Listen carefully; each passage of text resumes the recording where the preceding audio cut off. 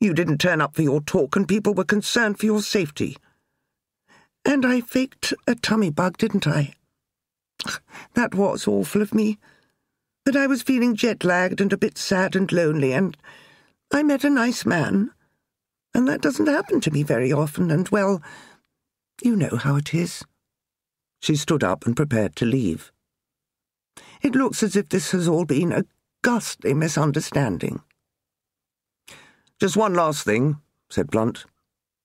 Perhaps you'd tell us where Mr. Savage is now. I assume you left the hotel together last night?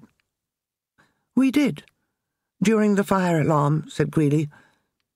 But I have no idea where he is this morning. You're quite sure about that? Of course. And you do realize that you would be obstructing a police investigation if you did know where he was but refused to tell me. You could even be accused of harbouring a wanted criminal. Wanted? What on earth for? I told you. I invited him into my room. There wasn't a kidnap or a. Blunt held up the photograph of the van driver that Shunter had obtained from the CCTV footage. Do you recognize this man? It's a bit blurry. Is it Mr. Savage? I I suppose it could be him, if he didn't shave for a day or two, said Greeley. But then he has one of those faces, really quite good looking in a nondescript sort of way. That was taken a short while before the murder took place at the village hall, said Blunt.